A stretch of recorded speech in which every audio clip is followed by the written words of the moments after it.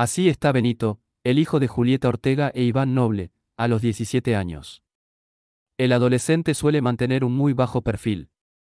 Julieta Ortega tuvo a Benito, su hijo junto a Iván Noble, hace 17 años. Si bien es parte del clan Ortega, el joven mantiene un muy bajo perfil. Mantiene una muy buena relación con su familia, especialmente con su mamá, junto a quien le encanta viajar. Meses atrás, Benito Noble y Julieta Ortega se fueron juntos a Nueva York y la actriz compartió imágenes de sus aventuras por la Gran Manzana en sus redes sociales. Y, aunque al adolescente no le simpatice demasiado la exposición, recientemente publicó un álbum de fotos suyas en lo que parecía ser un spa. Muchos a una poca pleita, e, escribió. Igual al papá, escribió un seguidor.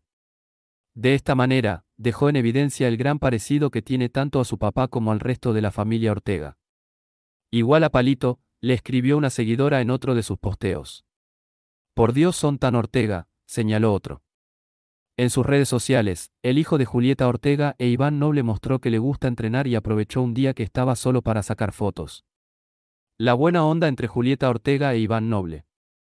En marzo de 2021, Julieta Ortega retó a Iván Noble por Twitter con humor ya que se llevan muy bien. Todo comenzó cuando el cantante cambió de celular y no recibió los mensajes de su ex.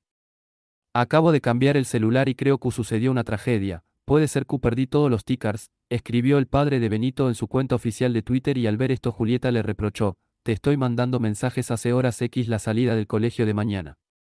A lo que él, cómico, le respondió, la sube está en orden, y sus seguidores estallaron de risa. Ante este tirón de orejas público, muchos seguidores de la expareja se volcaron a destacar su buena onda y lo afortunado que es hijo por la relación de ambos adultos.